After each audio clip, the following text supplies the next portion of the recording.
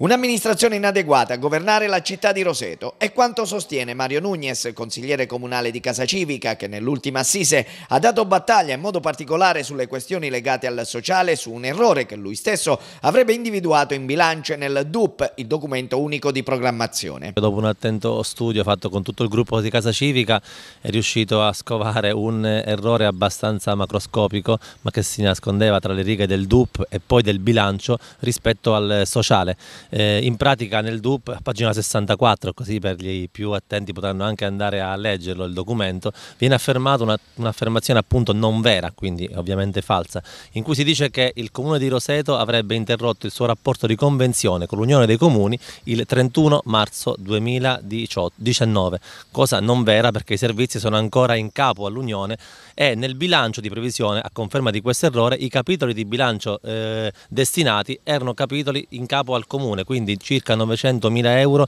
direttamente gestiti dal comune che invece non potrà gestirli. La vicenda chiama in causa in qualche modo anche l'Unione dei Comuni, l'ente d'ambito sociale con cui l'amministrazione rosetana ha cercato nei giorni scorsi un confronto soprattutto per dipanare la matassa sulle questioni legate al pagamento delle cooperative che garantiscono una serie di servizi importanti a vantaggio delle fasce più deboli, quali anziani e disabili. Chi ha seguito la questione negli ultimi giorni di polemiche tra il sindaco e l'Unione dei Comuni è sulla pelle delle cooperative, sulla pelle degli operatori, sulla pelle degli utenti, penso che rimarrà un po' confuso. Ecco, dati, numeri, studio alla mano dimostrano che questa amministrazione deve tornare indietro, deve farsi aiutare, deve ascoltare chi oggi si mette a servizio come noi, ma non perché vogliamo farci belli, ma perché pensiamo che sia necessario farlo per la comunità. Nunez invita comunque le parti ad una riflessione serena, ad abbassare i toni, ad un nuovo confronto per arrivare alla soluzione migliore, garantendo appunto ai dipendenti delle COP gli emolumenti spettanti. Il sindaco ha detto un'affermazione abbastanza